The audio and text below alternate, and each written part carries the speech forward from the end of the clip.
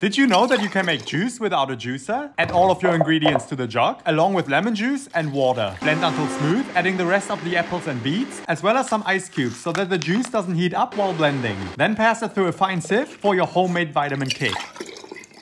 But don't waste the pulp. Just freeze it in ice cube trays and use it in stocks, curries or stews. There you go, homemade juice without a juicer.